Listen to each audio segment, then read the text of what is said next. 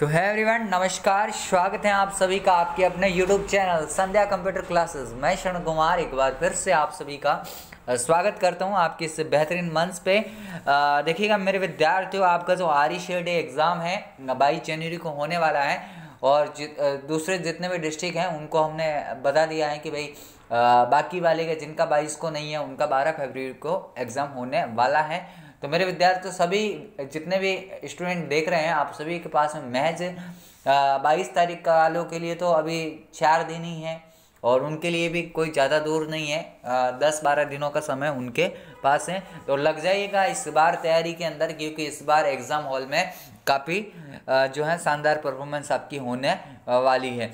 सबसे पहला क्वेश्चन आप सभी की स्क्रीन पे एक निम्न में से वैद्य प्रोजेक्टर कनेक्टिविटी का विकल्प नहीं है।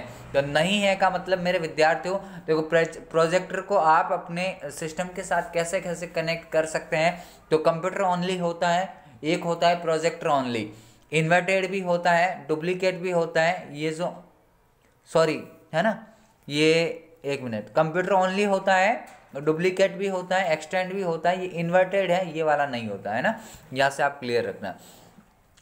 एक प्रोजेक्टर ऑनली होता है प्रोजेक्टर ऑनली उसके बारे में भी पता रखना। देखो कंप्यूटर ऑनली का मतलब कि केवल और केवल आपको इसमें दिखेगा? कंप्यूटर की स्क्रीन दिखेगी। डुप्लीकेट का मतलब जैसा कंप्यूटर की स्क्रीन दिखा रही है, वैसा का वैसा प्रोजेक्टर की स्क्रीन भी दिखाएगी। एक्सटेंड का मतलब ये है कि कंप्यूटर की स्क्रीन कुछ और दिखाएगी और आपका प्रोजेक्टर कुछ और दिखाएगा। और प्रोजेक्टर ऑनली का मतलब होता है कि केवल और केवल कौन दिखाएगा? प्रोजेक्टर दिखाएगा। तो ये इतनी सी बातें आपकी क्लियर होनी चाहिए, यहाँ से करेक्ट आंसर कौन सा इन्वर्टेड हो जाता है। आगे बढ़ते हैं कि वीजे कार्ड में कितने पिन होते हैं? तो विद्यार्थी जल्दी से कमेंट करो कि कितने पिन होते हैं। तो इसका जो करेक्ट आंसर है पंद्रह यहाँ से बिल्कुल ही करेक्ट हो जाता है। आगे बढ़ते हैं एच का विस्तारित रूप क्या है? तो विद्यार्थी एस एच का विस्तारित रूप होता है आपका। High definition multimedia interface option A आपको जो दिख रहा है, यहाँ से बिल्कुल करेक्ट विकल्प हो जाता है।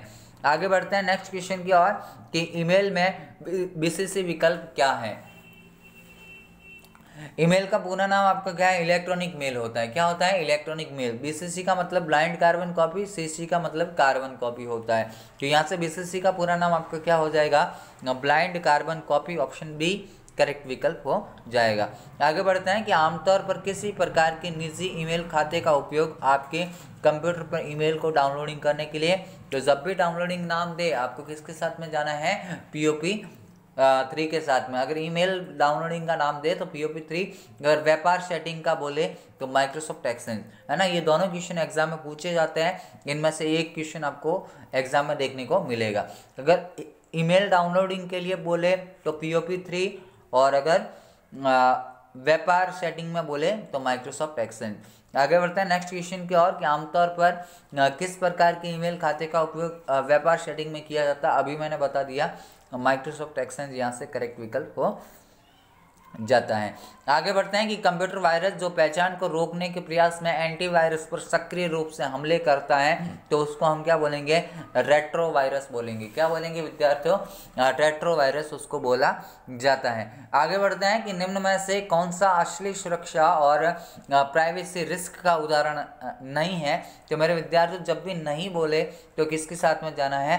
हैकर्स के साथ में जाना है। यानी ये प्राइवेसी रिस्क का उदाहरण नहीं है और असली सुरक्षा भी यहाँ से नहीं मिलती ये तो आपके सिस्टम को हैक करने का काम करते हैं। आगे बढ़ते हैं।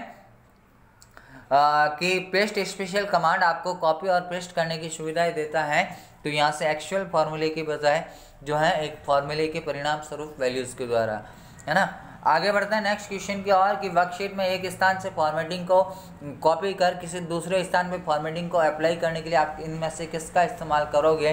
तो मेरे विद्यार्थियों स्टैंड टूल बार पर जो फॉर्मेट पेंटर का बटन उपस्थित होता है उसके द्वारा हम क्या कर सकते हैं कि वर्कशीट में एक स्थान से फॉर्मेटिंग को कॉपी किया जाता है फिर दूसरे स्थान पर उसको अप्लाई किया जाता है। आगे बढ़ते हैं कि वर्कशीट एक वर्क बुक में निम्न में से किसके संयोजन से बनती है? तो वर्क बुक किसके संयोजन से बनती है? तो भाई वर्कशीट और चार्ट इन दोनों के संयोजन से आपकी क्या बनती है? वर्क बुक बनती है। आ, देखो विद्यार्थी जैसे क्वेश्चन है हो सकता है कि कोई एकाध क्वेश्चन ऐसा भी हो जो रिपीटेड आपके लिए हो रहा है लेकिन वही क्वेश्चन आपके समक्ष हैं जो एग्ज़ाम पॉइंट ऑफ़ व्यू से इंपॉर्टेंट होते हैं। और भी आने वाली जितने भी क्लासेस हैं तो उनमें सारे के सारे क्वेश्चन आपको करवाए जाएँगे। और जो सर जो है लाइव क्लासेस लेके आते हैं मैम भी लेके आते हैं तो उनकी क्लासेस को भी आपको देखना है, ताकि वहाँ से भी आपको बहुत सारी हेल्प मिलने वाली है। आगे बढ़ते हैं कि एम एस पावर पॉइंट में वर्तमान स्लाइड से स्लाइड शो को शुरू करने की शॉर्टकट कुंजी क्या होती है? देखो, वैसे तो क्या होती है? एफ़ फाइव होती है ना? वैसे आपकी नॉर्मली स्लाइड को शुरू करने के लिए एफ़ फाइव होती है, लेकिन आपसे क्या बोला है? वर्तमान स्लाइड यानी करंट स्लाइड की जब भी बात आए तो शिफ्ट के साथ में एफ़ फाइव आपको करना है। उसको रोकने के लिए एस्केप का इस्तेमाल किया जाता है है ना? तो इतनी सी बातें क्लियर होनी चाहिए। आगे बढ़ते हैं कि अगर नई प्रेजेंटेशन खाली जगह से बनाई जाती है तो विद्यार्थी और नई प्रेजेंटेशन किसके माध्यम से होगी? तो खाली प्रेजेंटेशन से भी हो सकती है, मौजूदा से भी हो सकती है डिज़ाइन से भी हो सकती है तो उपरोक्त सभी सरकारी ऑप्शन यहाँ से बिल्कुल ही करेक्ट हो जाता है। आगे बढ़ते हैं कि प्रेजेंटेशन में विद्यमान सभी स्लाइडों पर एक जैसा प्रदर्शन चाहने के लिए इनमें से किसका इस्तेमाल किया जाता है? तो प्रेजेंटेशन डिज़ाइन टेम्पलेट आपका यहाँ से बिल्कुल करेक्ट विकल्प हो जाता है। आगे बढ़ते हैं कि इनमें से कौन सा फीचर सिलेक्टेड एरिया की फॉर्मेटिंग को हटाता है? तो भाई सिलेक्टेड एरिया की फॉर्मेटिंग को हटाने का काम तो किसका होता है? क्लियर फॉर्मेटिंग का होता है। किसका होता है? क्लियर फॉर्मेटिंग का होता है। आगे बढ़ते हैं कि दस्तावेज़ में हेडर और फुटर को डालने का मूल उद्देश्य क्या है? तो भाई मूल उद्देश्य क्या है? दस्तावेज़ की दिखावट सुधारने के लिए, है ना? तो ये वाला विकल्प भी आपका बिल्कुल करेक्ट हो जाता है। आपकी बुक्स में यही दिया हुआ है आंसर तो आपको इसी को ही मानना है। आगे बढ़ते हैं नेक्स्ट क्वेश्चन की और कि निम्न में से कौन सा ऐप नागरिकों के मुद्दों को हल करने और समाधान करने के लिए इस्तेमाल किया जाता है? तो भाई कितनी बार बता दिया राजस्थान संपर्क होता है। आगे बढ़ते हैं नेक्स्ट ईपीडीएस का पूरा नाम याद रखना इलेक्ट्रॉनिक पब्लिक डिस्ट्रीब्यूशन सिस्टम होता है। आगे बढ़ते हैं कि हॉटस्पॉट के लिए किस कनेक्टिविटी की आवश्यकता होती है? तो भाई वाईफाई की आवश्यकता होती है। वाईफाई का पूरा नाम वायरलेस क्या होता है? वायरलेस फिडिलिटी होता है। क्या होता है? वायरलेस फिडिलिटी उसका पूरा नाम होता है। ब्लूटूथ एक पैन प्रकार का नेटवर्क है जो छोटी दूरियों पे डेटा को जो ट्रांसफ़र करने के लिए इसका इस्तेमाल किया जाता है, इतने सी बातें क्लियर रखनी है। आगे बोला है पीएनआर का पूरा नाम क्या है? तो पीएनआर दस अंकों की एक संख्या होती है, जो किसी भी ऑनलाइन टिकट को बुकिंग करने के बाद में आपको मिलती है एक रेफरेंस नंबर के रूप में। तो उसका मेरे विद्यार्थी पूरा नाम क्या होता है? Passenger name record option A जो है, आपका यहाँ से बिल्कुल ही करेक्ट हो जाता है। कभी कभार वो आपसे पूछेगा आईआरसीटीसी का पूरा नाम तो Indian railway catering tourism corporation इसका पूरा नाम होता है। और अगर R S R T C का बोले, है ना, R S R T C का तो राजस्थान राज्य रोडवेज़ परिवहन निगम उसका पूरा नाम होता है। आगे बढ़ते हैं। और अगर पी एस के बोले तो पासपोर्ट सेवा केंद्र, ये जो भी बातें बोल रहा हूँ, आपको क्लियर रखनी है। आगे बढ़ते हैं कि किस प्राधिकरण द्वारा पैन कार्ड को जारी किया गया। अब देखो, पैन कार्ड के संदर्भ में पैन का पूरा नाम होता है, परमानेंट अकाउंट नंबर। क्या होता है? परमानेंट अकाउंट नंबर होता है और पैन कार्ड को जारी किसने किया? एनएसडीएल यानी कि नेशनल सिक्योरिटी डिपोजिटरी लिमिटेड उसका पूरा नाम होता है। सर यू आई क्या है?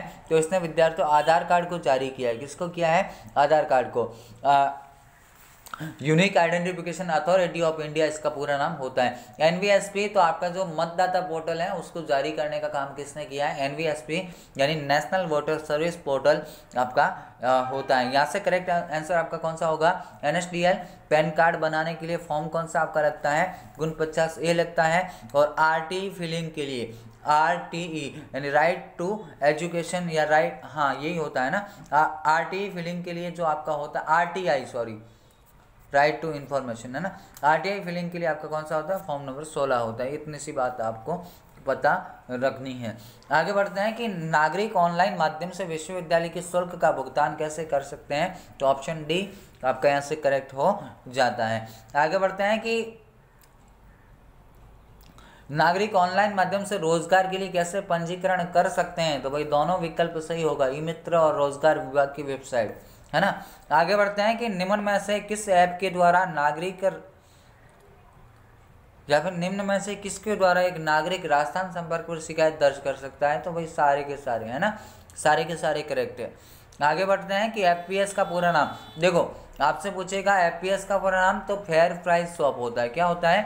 फेयर प्राइस स्वैप आपसे बोला कि एमएसपी का पूरा नाम मिनिमम सपोर्ट प्राइस आपसे बोला बीपीएल का पूरा नाम तो बिलो पॉवर्टी लाइन आपसे बोला एपीएल का पूरा नाम एबव पॉवर्टी लाइन आपसे बोला ईपीडीएस का पूरा नाम तो इलेक्ट्रॉनिक पब्लिक डिस्ट्रीब्यूशन सिस्टम इससे बार एग्जामिनर नहीं जाएगा, है ना? आगे बढ़ते हैं कि ईपीडीएस के संदर्भ में एमएसपी का पूरा नाम तो अभी बता दिया मिनिमम सपोर्ट प्राइस आगे बढ़ते हैं। नेक्स्ट क्वेश्चन की और कि ईपीडीएस प्रणाली में बीपीएल का पूरा नाम तो बिलो पॉवर्टी लाइन क्या होता है? Below poverty line next question आप सभी की स्क्रीन पे कि जॉब सर्च वेबसाइट का उदाहरण कौन सा है? तो विद्यार्थियों नौकरी डॉट कॉम आपका यहाँ से करेक्ट हो जाता है ना? नौकरी डॉट कॉम है मॉन्स्टर है टाइम्स जॉब डॉट कॉम है जॉब अलर्ट है, ये सारे के सारे किसके उदाहरण हैं? जॉब सर्च वेबसाइट के एग्ज़ाम्पल होते हैं। जबकि अमेजोन है पेटीएम है, ये तो आपके ई कॉमर्स के एग्ज़ाम्पल होते हैं ना? या पेटीएम वैसे आपका मोबाइल वॉलेट भी होता है।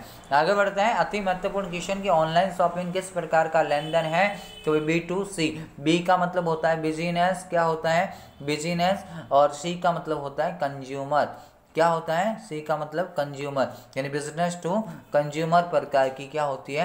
ऑनलाइन शॉपिंग वेबसाइट होती है। ये सारे के सारे ई कॉमर्स के प्रकार हैं। है ना बी का मतलब बिज़नेस है सी का मतलब कंज्यूमर है।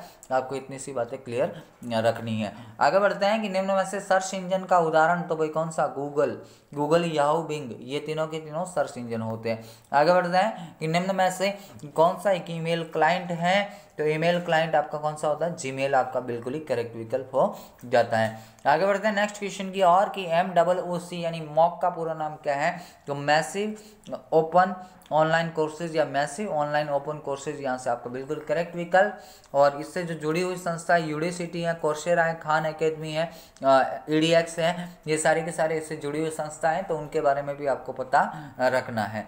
ऑनलाइन जॉब एजुकेशन का एक प्लेटफॉर्म है, जिसको मॉक नाम दिया गया है। अगला क्वेश्चन, निम्न में से प्रधानमंत्री जनधन योजना से जुड़े लाभ तो भाई ऑप्शन डी यानी एक लाख का दुर्घटना बीमा, तीस हज़ार जीवन बीमा, पाँच हज़ार की ओवरड्राफ्ट की सुविधा है, और ये शुरू कब हुई? तो अगस्त दो हज़ार चौदह के अंदर स्टार्ट हुई थी। आगे बढ़ते हैं नेक्स्ट क्वेश्चन की और कि निम्न में से मोबाइल वॉलेट का एग्ज़ाम्पल नहीं है, कि भाई क्रेडिट कार्ड नहीं होगा। क्वेश्चन इंपॉर्टेंट है ना? क्रेडिट कार्ड नहीं होता। अगर यहाँ पर डेबिट कार्ड भी नाम आता ना तो वो भी नहीं होता, याद रखना है। अगला क्वेश्चन कि निम्न में से कौन सा प्रिंटर प्रिंट है? इसे चाहिए कि छोटी छोटी बूंदों का छिड़काव करके पेज को जो है पेज पर इमेज का निर्माण करता है तो इंकजेट जब भी इंक नाम दे तो इंकजेट आपको लगाना है। लेज़र किसका उपयोग करता है? ब्लैक सूखा पाउडर। किसका करता है? ब्लैक सूखा पाउडर। सरी प्लॉटर क्या है? तो उच्च गुणवत्ता के ग्राफिक्स या वेक्टर का उत्पादन करता है। आगे बढ़ते हैं और आज की स्लाइड का अंतिम क्वेश्चन डीपीआई का पूरा नाम क्या है? विद्यार्थी डॉट्स पर इंस होता है और ये क्या होती है? प्रिंटर की क्वालिटी होती हैं। तो देखो, मैंने बहुत शॉर्ट टाइम में आपको थर्टी फाइव क्वेश्चन करवाए हैं। आधे स्टूडेंट ऐसे भी होते हैं जिनके पास थोड़ा समय का अभाव होता है और भी आपके एग्ज़ाम चल रहे होंगे तो उनकी आप तैयारी कर रहे होंगे। तो ज़्यादा अगर समय नहीं है तो ये शॉर्ट क्लासेस आप ज़रूर देखें। इनके माध्यम से भी आपको जो है काफ़ी सारी जानकारी मिलने वाली है और यही मेरे विद्यार्थी आपके एग्ज़ाम हॉल में क्वेश्चन देखने को मिलने वाले हैं। तो उम्मीद है आपको सेशन पसंद आया होगा। अगर सेशन के साथ में एंजॉय किया है सेशन को पसंद किया है तो सेशन को लाइक शेयर और चैनल को सब्सक्राइब ज़रूर करें। अभी के लिए इतना ही। मिलेंगे नेक्स्ट सेशन के साथ में। तब तक के लिए जय हिंद, वंदे मातरम, जय भारत।